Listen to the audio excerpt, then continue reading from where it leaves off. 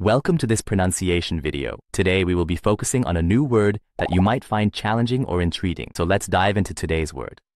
Fahrer, which means, A person who operates or drives a vehicle. let's say it all together. Fahrer. Fahrer. Fahrer. One more time. Fahrer. Fahrer. Fahrer.